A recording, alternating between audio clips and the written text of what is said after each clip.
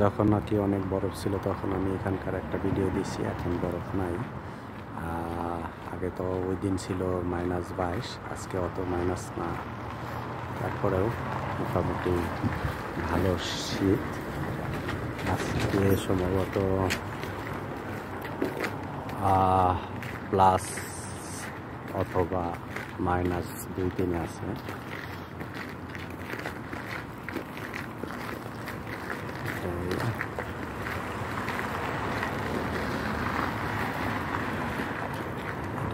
পাহাড়ের চূড়া বোঝা যায় কেনা জানি না।